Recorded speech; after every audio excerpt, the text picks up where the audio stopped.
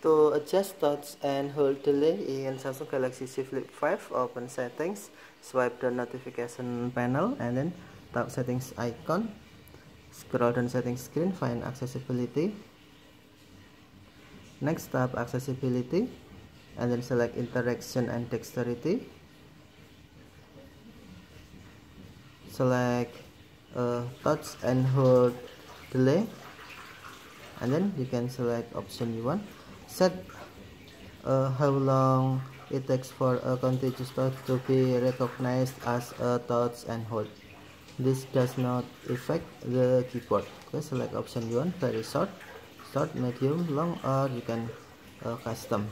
Touch and hold the block for your desired custom uh, custom touch and hold delay time.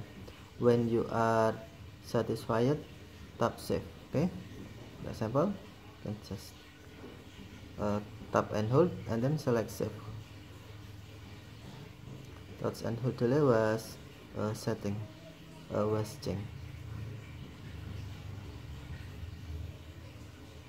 okay thank you for watching. Have a nice day